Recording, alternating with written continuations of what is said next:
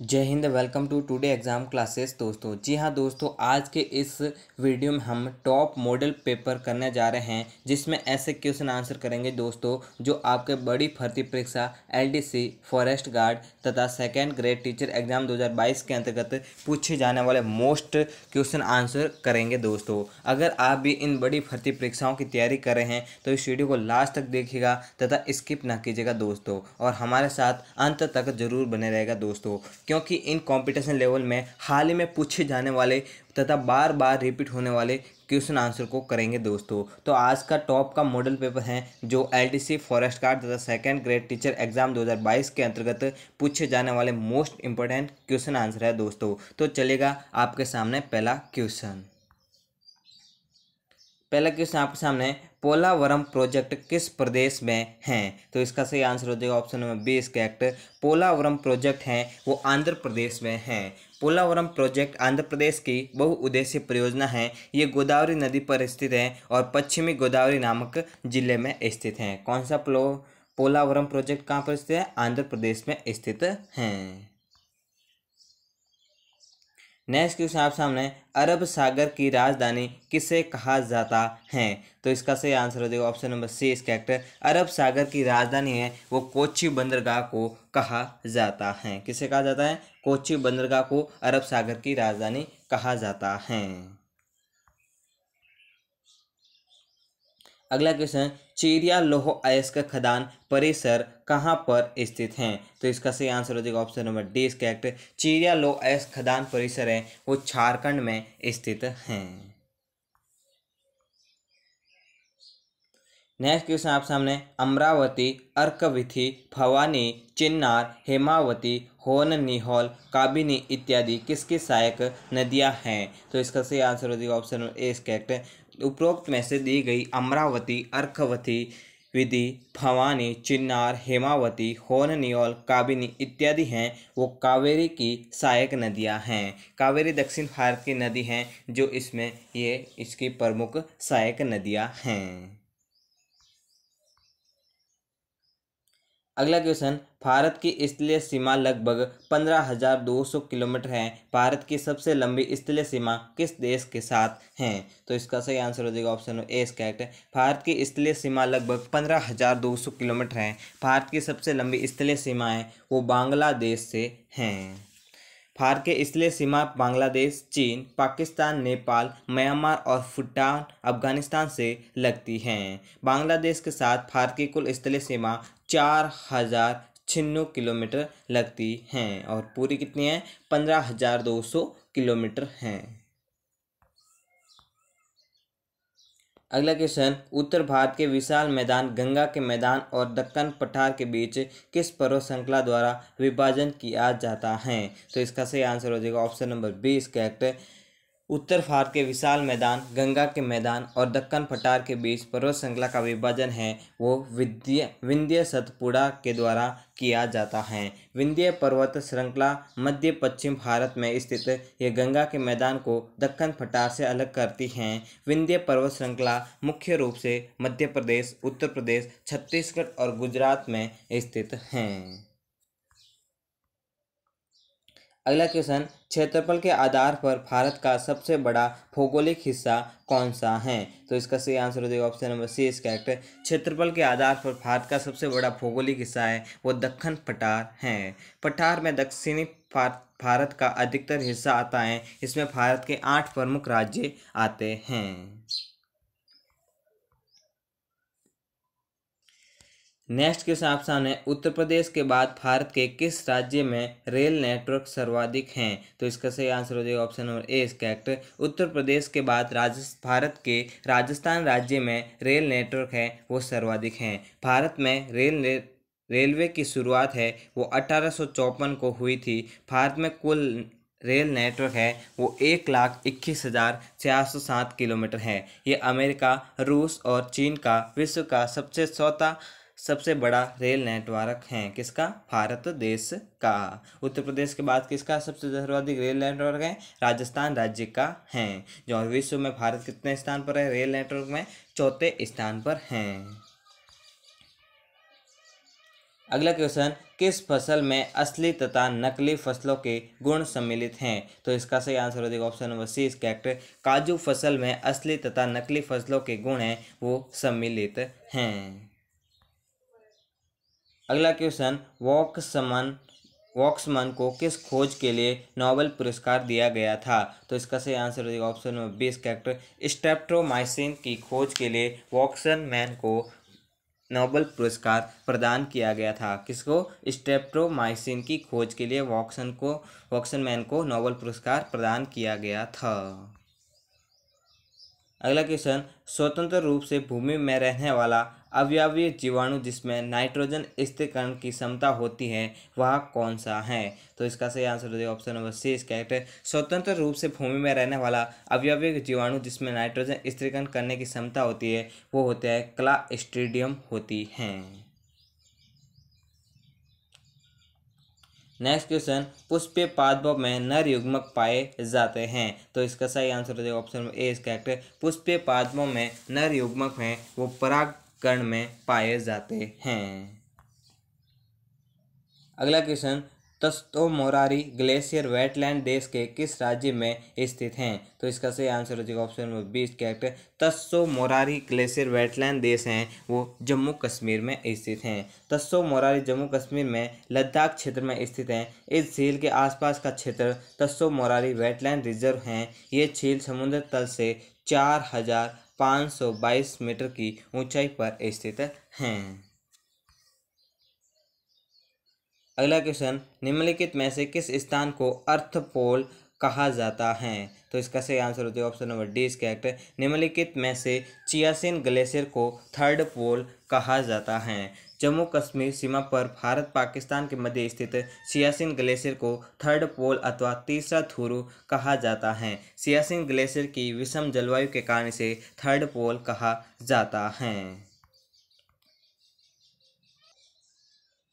अगला क्वेश्चन आपके सामने सद्दाम बीच किस राज्य में स्थित हैं? तो इसका सही आंसर हो जाएगा ऑप्शन नंबर बी इसका एक्टर सद्दाम बीच है, वो केरल राज्य में स्थित हैं। सद्दाम बीच केरल के मलप्पुरम ज़िले में स्थित है। इस बीच का नाम है उन्नीस सौ इक्यानवे के खाड़ी युद्ध के दौरान इराक का राष्ट्रपति सद्दाम हुसैन के नाम पर रखा गया था। नेक्स्ट क्वेश्चन भारतीय फ़सल प्रसंस्करण तकनीक संस्थान किस स्थान पर स्थित हैं? तो इसका सही आंसर हो जाएगा ऑप्शन नंबर बी इसका एक्ट भारतीय फ़सल प्रसंस्करण तकनीक संस्थान है, वो तंजावुर स्थान पर स्थित हैं। भारतीय फ़सल प्रसंस्करण तकनीक संस्थान को अब बदलकर खाद्य संस्करण तकनीक स्थान रखा गया है। ये तमिलनाडु के तंजावुर में स्थित हैं। अगला क्वेश्चन, उन्नीस सौ चौहत्तर में भारत के कच्छ त्रिभुज द्वीप किस देश को दे दिया था? तो इसका सही आंसर हो जाएगा ऑप्शन ए, इसका एक्ट उन्नीस में भारत के कच्छ तीव द्वीप हैं, वो श्रीलंका देश को दे दिया था। कच्छ द्वीप भारत के रामेश्वरम और श्रीलंका के नेडनु द्वीपों के बीच स्थित था। इस द्वीप को लेकर भारत और श्रीलंका के बीच विवाद था। उन्नीस सौ चौहत्तर में एक समझौते के तहत एक शर्तों के साथ भारत ने उस द्वीप पर श्रीलंका के आधिपत्य को मान्यता दे दी थी। कब दे दी थी? उन्नीस सौ चौहत्तर में। अगला क्वेश्चन, गग्गर किस राज्य की एकमात्र मौसमी व मुख्य नदी हैं। तो इसका सही आंसर हो जाएगा ऑप्शन नंबर डी इसका करेक्ट गग्गर हैं, वो हरियाणा राज्य की एकमात्र मौसमी व मुख्य नदी हैं। गग्गर नदी तिब्बत में मापछाऊंगो ग्लेशियर से निकलती हैं। इसकी कुल लंबाई है, वो एक हज़ार अस्सी किलोमीटर हैं। कितनी है? एक हज़ार अस्सी किलोमीटर। और कहाँ से निकलती है? मापछा छुंगो ग्लेशियर से निकलती हैं। और हरियाणा राज्य की एकमात्र मौसमी मुख्य नदी हैं। अगला क्वेश्चन निम्नलिखित में से उत्तर प्रदेश का कौन सा शहर लकड़ी की नक्काशी के लिए प्रसिद्ध है? तो इसका सही आंसर हो जाएगा option number B is correct Saharanpur है, जो उत्तर प्रदेश का सहारनपुर शहर है, जो लकड़ी की नक्काशी के लिए बेहद ही प्रसिद्ध हैं। उत्तर प्रदेश का सहारनपुर नगर लकड़ी की नक्काशी, बासमती चावल और आम के लिए प्रसिद्ध हैं। अगला क्वेश्चन, केंद्रीय मत्स्य नौचालन एवं इंजीनियरिंग प्रशिक्षण संस्थान किस स्थान पर स्थित हैं? तो इसका सही आंसर हो जाएगा ऑप्शन ए, इसका केंद्रीय मत्स्य नौचालन एवं इंजीनियरिंग प्रशिक्षण संस्थान है, वो कोची स्थान पर स्थित हैं। इसकी स्थापना है, वो उन्नीस में की गई थी। ये केरल के कोची में स्थित हैं। अगला क्वेश्चन अमलगम किसकी मिश्र धातु है? तो इसका सही आंसर हो जाएगा ऑप्शन ए कैरेक्टर अमलगम है, वो मकरी मिश्र धातु हैं। अमलगम पारे की एक मिश्र धातु है, जो किसकी है? मकरी, मरकरी की या पारे की मिश्र धातु हैं। अगला क्वेश्चन न्यूट्रॉन की खोज के लिए नोबल पुरस्कार किसे दिया गया था? तो इसका सही आंसर हो जाएगा ऑप्शन ए करेक्ट न्यूट्रॉन की खोज के लिए नोबल पुरस्कार है, वो जेम्स चैडविक को दिया गया था। नेक्स्ट क्वेश्चन निम्नलिखित में से कौन सा कण बच जाता है जब हाइड्रोजन परमाणु अपने इलेक्ट्रॉन को खो देता है? तो इसका सही आंसर हो जाएगा ऑप्शन नंबर सी करेक्ट एक प्रोटॉन कण बच जाता है जब हाइड्रोजन परमाणु अपने इलेक्ट्रॉन को खो देता है, तब एक प्रोटॉन उसके पास या उस तत्व के पास बचा रहता है। किसके पास? एक तत्व के पास कौन सा कण रहता है? प्रोटॉन कण बचा रहता है जब हाइड्रोजन परमाणु अपने इलेक्ट्रॉन को खो देता है। अगला क्वेश्चन एक सौ छह तत्वों की खोज किसने की थी? तो इसका सही आंसर हो जाएगा ऑप्शन नंबर बीस करेक्ट है। एक सौ छह तत्वों की खोज है, वो सिबॉर्ग ने की थी। नेक्स्ट क्वेश्चन आप सामने, परमाणु न्यूक्लियस बने होते हैं। तो इसका सही आंसर हो जाएगा ऑप्शन नंबर डी करेक्ट परमाणु न्यूक्लियस हैं, वो प्रोटोनों और न्यूट्रॉनों से बने होते हैं। नेक्स्ट क्वेश्चन जर्मन सिल्वर्स में निम्नलिखित धातुएँ होती हैं। तो इसका सही आंसर होती है ऑप्शन ए इसका करेक्ट जर्मन सिल्वर में तांबा, जस्ता और निकेल निम्न प्रकार की धातुएँ पाई जाती है। किसमें? जर्मन सिल्वर में। कौन कौन सी? तांबा, जस्ता और निकेल प्रकार की धातुएँ पाई जाती हैं। अगला क्वेश्चन वह तत्व जो प्रकृति में नहीं होता, लेकिन कृत्रिम रूप से उत्पन्न किया जा सकता है, क्या है? तो इसका सही आंसर हो जाएगा option number B is correct radium तत्व हैं जो प्रकृति में नहीं होता, लेकिन कृत्रिम रूप से इसे उत्पन्न किया जा सकता है। किसे? रेडियम तत्व को। अगला क्वेश्चन आपके सामने, निम्नलिखित में से प्रकाश का रंग किस से संबंधित है? तो इसका सही आंसर हो जाएगा ऑप्शन नंबर बीस कैरेक्टर निम्न में से प्रकाश का रंग है, वो आवर्ती से संबंधित होता है। अगला क्वेश्चन, परमाणु घड़ी निम्नलिखित में से किसके संक्रमण पर आधारित होती है? तो इसका सही आंसर हो जाएगा ऑप्शन नंबर बीस कैरेक्टर परमाणु घड़ी है, वो निम्नलिखित में से सीजियम संक्रमण पर आधारित होती हैं। नेक्स्ट क्वेश्चन प्रकाश का वेग सबसे पहले किसने नापा था? तो इसका सही आंसर हो जाएगा ऑप्शन नंबर सी इस कैरेक्टर प्रकाश का वेग है, वो सबसे पहले वैज्ञानिक रोमर ने नापा था। अगला क्वेश्चन किलो वाट घंटा एक यूनिट किसकी इकाई है? तो इसका सही आंसर हो जाएगा ऑप्शन नंबर ए इस कैरेक्टर किलो वाट घंटा प्रति इकाई घंटा है, वो ऊर्जा की यूनिट या ऊर्जा की इकाई है, किसकी? ऊर्जा की क्या है? किलोवाट प्रति घंटा या किलोवाट घंटा है जो ऊर्जा की इकाई हैं। जब किसी पाषाण खंड को पानी में डुबोया जाता है तो वह समान में पानी को विस्थापित कर देता है।